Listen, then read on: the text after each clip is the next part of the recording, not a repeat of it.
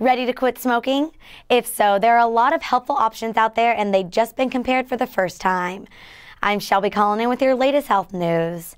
In a new study, researchers from the University of Wisconsin looked at adults who wanted to quit smoking. They compared three smoking cessation aids, the nicotine patch, a medication called varenicline, brand name Chantix, and combination nicotine replacement therapy. All three therapies were found to have similar results at 26 and 52 weeks. Varenicline caused more frequent side effects than the nicotine patch, such as vivid dreams, insomnia, gastrointestinal problems, and sleepiness, however. Anyone who has ever tried to quit smoking knows the habit is hard to break, so speak to your doctor about all your options.